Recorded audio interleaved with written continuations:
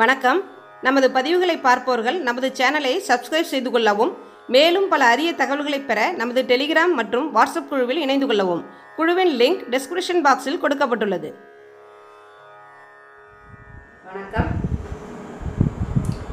நம்முடைய இன்றைய பதிவில் நம்ம பார்க்க போகிற விஷயம் என்ன அப்படின்னீங்கன்னா யூஸ்வலாக இதுவும் ஒரு ப்ராப்ளம் பற்றினது தான்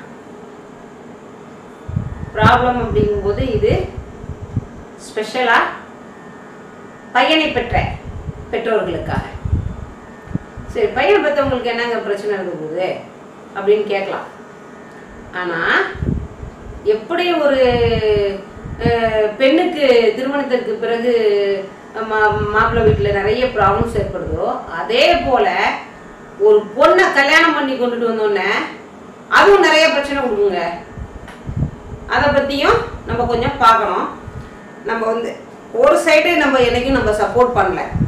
ரெண்டு சைடு உள்ள பிரச்சனைகளையும் நம்ம அலசி ஆராய்ந்து தான் ஒரு ஒரு விஷயம் சொல்கிறோம் இப்போ வந்து திருமணம் பண்ணுறாங்க திருமணம் பண்ணி அந்த பெண்ணை வந்து மாப்பிள்ளை வீட்டுக்கு வருது. பூந்த வீட்டுக்கு வருது. அப்போ வரும்போது இப்போ வந்து நான் எல்லா இதுலேயுமே நான் படித்து படித்து சொல்கிறேன் இந்த பெண்களுக்கு வந்து ஒரு அட்ஜஸ்ட்மெண்ட் மென்டாலிட்டி வேணும். நம்ம தான் அந்த இப்போ வந்து நம்ம ஒரு வீட்டுக்கு கெஸ்ட் போகிறோம்னு வச்சுங்களேன் நம்ம அங்கே போய் எப்படி இருப்போம்? நம்ம வீட்டில் இருக்கிற மாதிரி கேஷுவலாக அதை இதையும் பண்ணுமா? பண்ண மாட்டோம் போய் ஃபார்முலா அப்படி உட்காந்துட்டு ஃபார்முலா பேசிட்டு ஃபார்முலா வெளியே வந்துடுவோம் அதானே பண்ணுவோம்? இப்போ அதே போல தான் நீ ஃபஸ்ட்டு புதுசாக நீ ஒரு ஒரு இடத்துக்கு போயிருக்க. அங்கே இருக்கிறவங்க எல்லாம் அவங்களோட இயல்பில் இருப்பாங்க. நீ தான் போய் அந்த இடத்துல வந்து எப்படி அந்த சுச்சுவேஷன்ஸ் எப்படி யார் எப்படி என்னங்கிறத உணர்ந்து அதற்கு தகுந்தமாறு உன்னை நீ மாற்றி அமைத்து கொண்டு அந்த இடத்துல வந்து நீ வந்து உன்னை செட் பண்ணிக்கணும். அதுக்கு கொஞ்சம் காலம் பிடிக்கும். அட்லீஸ்ட் ஒரு ஒரு வருஷமாவது ஆகும். சரி இப்படி இருக்கு அதுக்குள்ளார வந்து ஒரு கன்சீவ் ஆகி ஒரு குழந்தை பிறந்துருது அப்படின்னா மற்ற எல்லாருடைய கான்சன்ட்ரேஷனும் அந்த குழந்தைகிட்ட போயிடும். உன்னை அப்புறம் ரொம்ப டார்ச்சர் பண்ண மாட்டாங்க. பிள்ளைய பார்த்துக்கிறதுல பிள்ளைய வளர்க்குறதுல இப்படி போயிடும். இப்படி அண்ணா வந்து அந்த மாதிரி அட்லீஸ்ட் ஒரு ஒரு வருஷமாவது ஆகும். ஒரு ஒரு புதுசாக திருமணமாகி வந்த பெண் வந்து அந்த குடும்பத்தில் தன்னைய மிங்கிள் பண்ணிக்கிறதுக்கு. சரி இப்போ இந்த பெண்ணினால அங்கே என்னென்ன ப்ராப்ளம்ஸ் ஏற்படுதுன்னு பார்ப்போம். இப்போ வந்து ஒரு பையன் திருமணம் பண்ணுறான் அந்த ரொம்ப ரொம்ப நாள் பொண்ணு தேடி கிடைக்காம ஒரு பொண்ணை பிடிச்சி போய் சரி பொண்ணை டக்கு டக்குன்னு நிச்சயம் பண்ணுறாங்க ரொம்ப விசாரிக்கல அந்த பொண்ணை பற்றி எப்படி என்ன ஏதுன்னு என்ன போய் எங்கே போய் விசாரிக்கிறது அப்படிங்கிறாங்க. அந்த மாதிரி திருமணம் பண்ணி வருது. ஆனால் பார்த்தீங்கன்னா அந்த பொண்ணு இந்த வீட்டுக்குள்ளார வந்துட்டு அந்த ஒரு அவளுக்காக கொடுக்கப்பட்ட அந்த ரூம் மட்டும்தான் அவளோட உலகம். எதா இருந்தாலும் போய் அந்த ரூம்குள்ளே போய் கதை சாத்திக்க வேண்டியது. எதா இருந்தாலும் போய் அந்த ரூம்குள்ளே போய் கதை சாத்திக்க வேண்டியது. எது எந்த ஒரு வேலையுமே செய்யறதில்ல. இப்போ இந்த இப்போ வந்து கிராமங்களில் அப்படின்னு பார்த்தீங்க அப்படின்னா சிட்டிஸில் மட்டும்தான் விறகடுப்பு கிடையாது. கிராமங்களில் வந்து கிராமம்னு இல்லை. இந்த சாதாரண ஒரு நகரங்கள் இருக்குல்ல பார்த்தீங்களா இந்த மன்னார்குடி தஞ்சாவூர் திருவாரூர் நாகப்பட்டினம் இந்த மாதிரி ஏரியா இந்த மாதிரி ஊர்கள் இருக்கு இல்லைங்களா? இங்கெல்லாம் வந்து செப்பரேட் ஹவுசஸ் நிறைய இருக்கும். சிட்டியில தான் அப்பார்ட்மெண்ட்ஸு இந்த செப்பரேட் ஹவுசஸில் பார்த்தீங்க அப்படின்னா பின்னாடி வந்து ஒரு விறகு அடுப்பு இருக்கும். கட்டாயமாக இருக்கும். எங்கள் வீட்டில் கூட இருக்குது எல்லா இடத்துலையுமே அந்த விறகடுப்பு இருக்கும். ஒரு வெந்நீர் குளிப்பதற்கு வெந்நீர் சுட வைப்பதற்காக ஒரு விறகடுப்பு வச்சுருப்பாங்க. மாடு வச்சிருப்பாங்க. ஏன்னா இன்னும் சில கிராமங்கள்ல எல்லாம் இன்டீரியராக போகும்போது ஆடு மாடு எல்லாமே இருக்கும். இப்போ அந்த மாதிரி ஒரு ஒரு அவங்க வீட்டில் இந்த பொண்ணு வீட்டில் வந்து அதெல்லாம் கிடையாது. ஆடு மாடு கிடையாது விறகடுப்பு கிடையாது.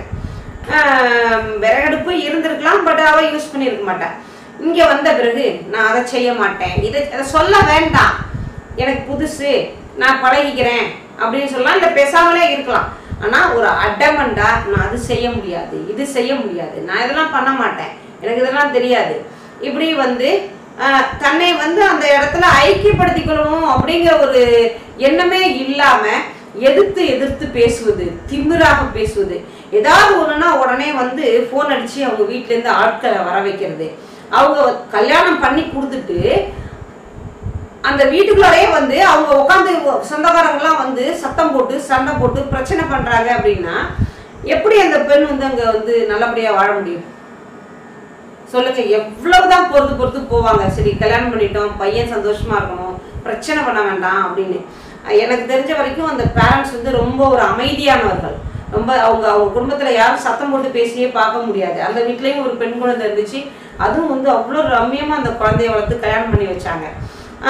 ஆனால் வந்து இந்த பெண் வந்து ஒரு அடாவடியாக ரவுடித்தனமாக அந்த வீட்டுக்குள்ள எல்லாரையும் எதிர்த்து பேசுறது தூக்கி போட்டு உடைக்கிறது திருமணமாகி மறு வாரத்துலேருந்தே இப்படி.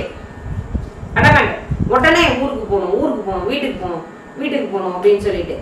இப்படி இருக்கும்போது இப்போ வந்து இந்த இடத்துல நான் என்ன சொல்கிறேன்னா இந்த பேரண்ட்ஸு இப்போ வந்து முக்கால்வாசி பார்த்தீங்கன்னா சிங்கிள் பேரண்ட்டுங்கிற விஷயம் நிறைய இடத்துல இருக்குது வாழ் வாழ்க்கை வந்து ஒத்து வராமல் இடையிலேயே குழந்தைக்கு ஒரு பத்து வயசாக இருக்கும்போது குழந்தைக்கு ரெண்டு மூணு வயசாக இருக்கும்போது இப்படி எந்த ஸ்டேஜில் கூட அப்படியே கணவரை பிரிஞ்சிடுறாங்க. கணவரை பிரிந்து அந்த குழந்தைய வந்து இந்த சமுதாயத்தில் தனியாக வளர்க்குறாங்க. வளர்த்து அப்போ அந்த அந்த பேரண்ட்டு தான் சிங்கிள் பேரண்ட்டுன்னு சொல்கிறோம் அந்த சிங்கிள் பேரண்ட்டு அப்படின்னு இருக்கும்போது அந்த பொண்ணு வீட்டு சைடு டாமினேஷன் ஜாஸ்தியாக இருக்கும். இவங்களுக்கு யாரும் இல்லை. ஜென்ஸ் இல்லைல்ல அந்த வீட்டில் எடுத்து கேட்க பண்ண சப்போர்ட்டுக்கு அப்படிங்கிறதுனால ரொம்ப டார்ச்சர் பண்ணுவாங்க. டார்ச்சர் பண்ணி அந்த பையனை வந்து எப்படியாவது அந்த கொ- தாய்கிட்ட இருந்து பிரித்து கொண்டுட்டு போயிடணும் அப்படிங்கிற மாதிரி சில விஷயங்கள். அப்போ வந்து நீ அடமண்டாரு நீ வந்து ஒத்து போகாத புருஷனோட சந்தோஷமாக இருக்காத அவனை வந்து இந்த மாதிரி எல்லாம் சொல்லி கொடுப்பாங்க. சொல்லி இது மாதிரிலாம் பண்ணுனேன் அப்படின்னா அவங்க அம்மாவை பற்றி குறை சொல்லிகிட்டே இருந்து ஒரு ஸ்டேஜில் பையன் சந்தோஷமாக இருக்கணும். சரி நம்ம வந்து இந்த வீட்டை விட்டு போனாதான் அவள் பொண்டாட்டி நம்ம கூட சந்தோஷமாக வாழ்க்கை நடத்துவா அப்படிங்கிற ஒரு முடிவுக்கு வந்து அவன் அந்த அம்மாவை விட்டுட்டு சிங்கிள் பேரண்டாக இருந்து இந்த சமுதாயத்தில் பலவித பிரச்சனைகளை ஃபேஸ் பண்ணி அந்த பையனை அந்த வளர்த்து படிக்க வச்சு வேலை வாங்கி வச்சு எல்லாம் பண்ண அந்த அம்மாவை அப்படியே அம்போன்னு விட்டுட்டு அந்த பையன் தனி வேறு வழி இல்லையே. இந்த அம்மாவும் எல்லா விஷயங்களையும் மனசுக்குள்ள வச்சுக்கிட்டு நம்ம புள்ள கல்யாணம் பண்ணிட்டோம் வேற என்ன பண்றது? புள்ள சந்தோஷமா இருக்கட்டும்னு அனுப்பிடுவாங்க. அங்க போய் இந்த பொண்ணு வந்து அடங்கி இருக்குமான்னா இல்லை. நான் இந்த பொம்பளை பசங்களுக்குலாம் கேட்குற ஒரே ஒரு விஷயம் என்ன? எனத்த சாதிக்க போறேன்? என்ன தள்ளி தலையில கட்டிக்கிட்டு போறேன்? அதைத்தான் நான் கேட்குறேன் அதாவது அன்புங்கிற ஒரு விஷயம் வந்து விவரிக்க முடியாத அளவு ஒரு விஷயம் அன்புங்கிற ஒரு விஷயம். அதை வந்து நீ எந்த அளவுக்கு கொடுக்குறியோ பத்து மடங்கு திரும்ப கிடைக்கும். ஆனால் அது ஏன் இந்த காலத்து பொம்பளை பிள்ளைங்களுக்கு தெரிய மாட்டேங்குதுன்னு தெரியல. எல்லாம் அரக்கியாக இருக்குது எல்லாம் ராட்சசியாக இருக்குது வந்து அப்படியே அந்த கல்யாணம் பண்ணி வந்துட்டா அந்த குடும்பமே அவளுக்கு அடிமைங்கிற மாதிரி இந்த பிள்ளைகள் பெண் பிள்ளைகள் நடந்துக்குது. படிச்சுட்டா என்ன ரெண்டு கொம்பு முளைச்சுக்கிட்டா அவங்களுக்குலாம் நான் கேட்குறேன் நீ படிச்சுட்டே அப்படின்னா உனக்கு கொம்பா முளைக்குது. எதனால இந்த ஆட்டம்? அடங்காத ஆட்டம். அந்த ஒரு இந்த மாதிரி ரொம்ப ராவடி பண்ற பொண்ணுங்களோட ஓல்டு ஹிஸ்டரி எடுத்து பாருங்க நீங்க. அது வந்து வேற எவனையாவது லவ் பண்ணிட்டு தான் வந்திருக்கும். வேற ஏதாவது ப்ராப்ளம்ஸ் இருந்திருக்கும். அட்டமெண்ட் இன்னொன்று அந்த பேரண்ட்ஸ் வந்து கிடையாது. அந்த கல்யாணத்துக்கு ஒத்துக்க மாட்டாங்க. அந்த லவ்வை ஒத்துக்க மாட்டாங்க. பிரிச்சோ இல்லை வேற எந்த பொண்ணு மனசு மாத்தியோ எப்படியோ இன்னொரு இடத்துல கல்யாணம் பண்ணி வச்சுருவாங்க. அங்க பெத்தவங்களை எதிர்க்க முடியாத அந்த பெண் இங்க வந்து இவனை போட்டு டார்ச்சர் பண்ணும். நிறைய கேஸ் நான் பார்த்துருக்கேங்க. நிறைய கேஸ் நான் பார்த்துருக்கேன். ஆனால் இந்த பையன் சொன்னால் அதை நம்ப மாட்டான். இல்லை என் பொண்டாட்டி நல்லாவாம்மா ஆனால் ஓல்டு ஹிஸ்ட்ரி நீங்கள் நம்ம சர்ச் பண்ணி பார்த்தோம் அப்படின்னா நான் இன்னொன்று சொல்கிறேங்க நல்லா கேளுங்க.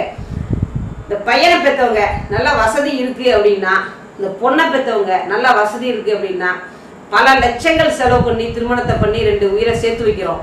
அது ரெண்டும் சந்தோஷமா நிம்மதியா வாழணும்னு நீங்க நினைச்சீங்கன்னா சில ஆயிரங்கள் செலவு செய்து டிடெக்டிவ்கிட்ட விட்டுருங்க. டீட்டெயில்ஸ் எடுத்துக்கிட்டு அந்த பொண்ணை கல்யாணம் பண்ணுங்க அந்த பையனை கல்யாணம் பண்ணுங்க. இன்னைக்கு முக்கால்வாசி சமுதாயத்துல லிவிங் டுகெதர்ல இருக்குங்க அந்த பிள்ளைங்க. ஒண்ணு. இன்னொன்னு பசங்க என்ன பண்றானுங்க வேலைக்கு போற இடத்துலையும் ஏதோ தவிர்க்க முடியாம நிறைய சிக்கல்கள்ல மாட்டிக்கிறானுங்க. ஏன் வந்து ஒரு திருமணமான பெண்ணோட உறவு இருக்குது இல்லை வந்து வயது மூத்த பெண்ணோட உறவு வச்சுருக்காங்க. இந்த மாதிரி ஒரு நிறைய கமிட்மெண்ட்ஸில் மாட்டிக்கிட்டு அதுலேருந்து வெளியே வர முடியாமல் பெற்றவங்களுக்கு நோ சொல்ல முடியாமல் பெற்றவங்க பார்க்குற பொண்ணையும் கல்யாணம் பண்ணிக்கிட்டு அவன் அங்கேருந்து பிச்சுக்கிட்டு வர முடியல இங்கே இதையும் வேணான்னு சொல்ல முடியாமல் பல சிக்கல்கள்லாம் அவன் இப்போ இதெல்லாம் வந்து அவன் வேலை பார்க்குற இடத்த தேடி போய் அவன் என்ன பண்ணுறான் ஏது பண்ணுறான் எல்லாத்தையும் கம்ப்ளீட்டாக தரோவாக ஒரு டிடெக்டிவ்கிட்ட கொடுத்தீங்கன்னா அவன் எல்லா டீட்டெயிலும் எடுத்து கொடுத்துருவான். வேணுமா வேணாமாங்கிறத நம்ம முடிவு பண்ணிக்கலாம். அதே போலத்தான் ஒரு பெண்ணுக்கும் நான் சொல்லுவேன்.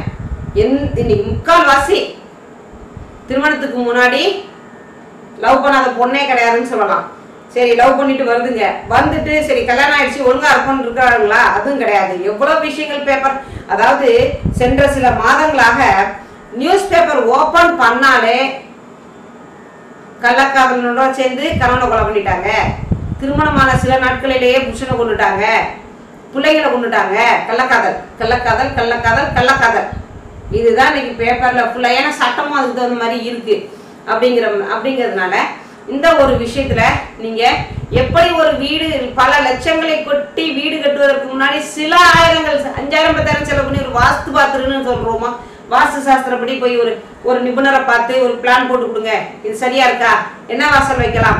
இதெல்லாம் எப்படி நம்ம பார்த்துக்க சொல்றோமோ? அது போலத்தான் வாழ்நாள் பூரா இணைஞ்சு வாழ போற அந்த குழந்தைகள் சந்தோஷமா எல்லா வளமும் பெற்று வாழணும்னு நம்ம நினைச்சோம்னா என்ன பண்ணணும்? ஒரு டிடெக் டிடெக்டிவ் வச்சு பெண்ணை பற்றியோ அந்த பையனை பற்றியோ ரிப்போர்ட் வாங்கி அப்படி நீங்கள் திருமணம் செய்யறது நல்லதுன்னு நான் சொல்கிறேன் பல விஷயங்களை நம்ம வந்து இதுலேருந்து தவிர்த்துக்கலாம். பின்னாடி ஏற்படக்கூடிய பல விஷயங்களை நம்ம தவிர்த்துக்கலாம். பொண்ணு அடங்காப்பிடாரியாக இருக்கலாம் திமிர் பிடிச்சதாக இருக்கலாம் அல்லது வந்து சரியான கேரக்டர் இல்லாமல் இருக்கலாம். இதெல்லாம் நமக்கு டிடெக்டிவ்ல தெரிஞ்சு போகும். எல்லாத்தையும் அப் டு டேட் விசாரிச்சு நமக்கு ரிப்போர்ட் கொடுத்துருவாங்க. அதே போல் இந்த பையன் குடிக்கிறவனா இருக்கலாம் அல்லது வந்து வெளியில் வேற யாருடையும் தொடர்பில் இருக்கலாம் அல்லது பல பெண்களுடைய சவகாசத்தில் இருக்கலாம். இதை எல்லாமே நமக்கு அந்த டிடக்டிவில் உங்களுக்கு விசாரிச்சு சொல்லிடுவாங்க. அதே போல இந்த பசங்களுக்கும் நான் ஒரு விஷயம் சொல்றேங்க. வேலைக்கு படிக்க போனியா? படிப்பை பாரு. படிக்க காலேஜில் பார்த்தீங்கன்னா பத்து பொண்ணுங்களோட ஃபோட்டோ தூக்கி வச்சுக்கிட்டு பத்து பிள்ளைங்களோட கான்டாக்ட் நம்பர் வச்சுக்க வேண்டியது எல்லாத்துக்கிட்டையும் கடலைப்பட போட வேண்டியது. இது ஏன் தேவையில்லாம அதாவது ஒரு ஒரு ஒரு செடி நட்டு வைக்கிறோம்னா அதுக்கு கரெக்டாக தண்ணி ஊற்றி கரெக்டாக உரம் வச்சு கரெக்டாக எல்லாம் பண்ணும்போது தான் அது கரெக்டான பக்குவத்தில் பூத்து காய்ச்சி தலைக்குது. இல்லையா? அப்போது அதே போல தான் சரியான சமயத்தில் உனக்கு ப கல்வி. அந்த கல்வியை நீ சரியாக கற்றுக்கிட்டா தான் நல்ல மார்க் வாங்கி நல்லா பாஸ் பண்ணால் தான் அடுத்தது ஒரு வேலைக்கும் நீ போக முடியும். வேலைக்கு போறியா? அந்த வேலைக்கு போன இடத்துல உன்னுடைய திருமணத்துக்கு முன்னாடி ஒரு இரண்டு மூன்று வருடங்கள் உன்னை பெத்து வளர்த்து படிக்க வச்சு கஷ்டப்பட்ட அந்த பேரண்ட்ஸுக்கு உன் சம்பளத்தை கொடுத்து ஒரு உதவி பண்ணு. ஒரு இரண்டு மூன்று ஆண்டுகள் கழிச்சு நல்ல பொண்ணா பார்த்து கல்யாணம் அப்பா அம்மா பண்ணி வைப்பாங்க. இல்ல நீ அப்படியே நீ லவ் பண்றியா? அந்த லவ் கல்யாணத்துல முடியுமான்னு நல்லா தீர யோசிச்சுக்கிட்டு அப்புறமா அதை கண்டினியூ பண்ணு. ஏன்னா நாய் வாய வைக்கிற மாதிரி எல்லா விஷயத்துலையும் வாய வச்சிடுறீங்க. வாய வச்சுட்டு கல்யாணத்துக்கு அப்புறம் நாறுது நாறுதுன்னு நாரி போயிடுவீங்க இந்த வேலையை நீங்க பண்ணாதீங்க. அதாவது நீ அப்படி வேற எந்த பெண்ணுடையாவது வெளியில உறவுல இருக்கீன்னா எதுக்குடா கல்யாணம் பண்ற நீ? எதுக்கு திருமணம் பண்ணிக்கிற? திருமணம் பண்ணி எதுக்கு இன்னொரு பெண்ணோட வாழ்க்கையை நாசம் பண்ற? அந்த வேலையை செய்யாதேன்னு சொல்றேன் நான். இந்த பெ- பையனை பெற்றோர்களுக்கும் இது ஒரு அறிவுரை. நீங்களும் அதாவது பையன் படிச்சா போதும் பையன் வேலைக்கு போனா போதும் அப்படிங்கிற ஒரு சிந்தனையில இல்லாம அவன் எங்க வேலை பார்க்கறான்? அவன் எதுவும் பழக்க வழக்கத்துல இருக்கானா? அவனோட நடவடிக்கைகள்ல மாற்றம் தெரியுதா? வித்தியாசம் தெரியுதா? எல்லாம் நீங்க விசாரிக்கணும். அப்படி அவன் வேற ஏதாவது தொடர்புகள்ல இருந்தானா தயவு செய்து இன்னொரு பெண்ணோட வாழ்க்கையை கெடுக்காதீங்க. அந்த பொண்ணை பிடிச்சி கல்யாணம் பண்ணி வச்சுட்டு அவங்க அந்த பெண் படுற பாடு பார்த்தீங்களா அந்த பெண் பாவத்தை வாங்கி கட்டிக்காதீங்க வாரி கட்டிக்காதீங்கன்னு நான் சொல்றேன். சரியா? அதனால இதுல வந்து திருமணம் அப்படின்னு வரும்போது எல்லா விஷயத்தையும் மைண்ட்ல வச்சுக்கிட்டு எல்லாத்துக்கும் சாதக பாதகம் இல்லாம நடந்துக்கணும்னு சொல்றேன். சரி இப்ப இந்த பொண்ணை கல்யாணம் பண்ணி கொண்டு வந்துட்டோம். இந்த பொண்ணு என்ன பண்ணுது? உள்ள பூந்து டார்ச்சர் பண்ணுது. அரகண்டா நடந்துக்குது. இல்ல பையனை பிரிச்சு கொண்டு போக பார்க்குது இந்த மாதிரியான சந்தர்ப்பங்கள்ல அந்த பொண்ணை சாந்தப்படுத்த முடியுமா? அமைதிப்படுத்த முடியுமா? அந்த பொண்ணை வந்து பொண்ணு பொண் பையனை பிரித்து கொண்டு போயிடாம ஒன்றா அந்த குடும்பத்துக்குள்ளார ஒத்துமையாக அந்த பொண்ணை வச்சு வாழ முடியுமா? அதுக்கு வாய்ப்பு இருக்கா அப்படின்னா நிச்சயமாக இருக்கு. இந்த பெண்ணை ஆயிரம் ஆனாலும் தாலி கட்டி நம்ம வீட்டுக்கு மருமகளாக கொண்டு வந்தாச்சு.